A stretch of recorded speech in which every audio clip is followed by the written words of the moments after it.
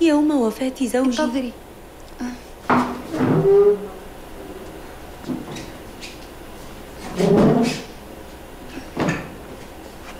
حسنا قولي. عندما توفي زوجي في الحادث بعدها نقل قلبه.